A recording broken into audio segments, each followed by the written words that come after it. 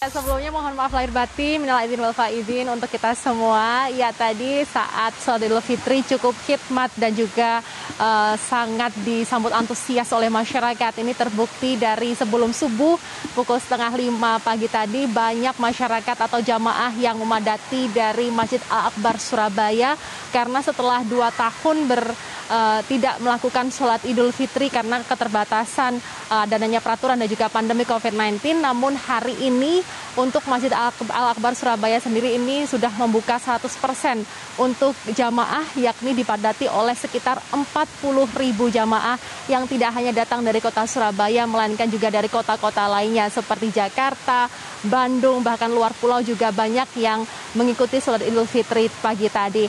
Dan sholat Idul Fitri tadi berlangsung sekitar 15 menit dimulai dari pukul 6 lebih 5 hingga 6 lebih 20 waktu Indonesia bagian Barat. Dan tidak hanya dipadati oleh jamaah atau juga masyarakat saja melainkan juga diikuti oleh Gubernur Jawa Timur, Wakil Gubernur Jawa Timur, lalu juga ada Pangdam Lima Barawijaya dan juga jajaran OPD maupun Kopimda yang lainnya.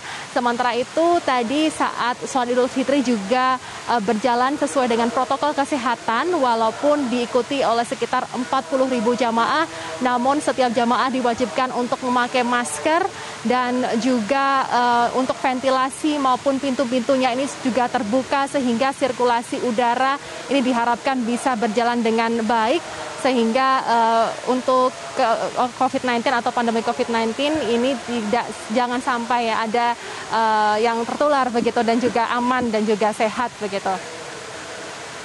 Medcom.id, a part of Media Group Network.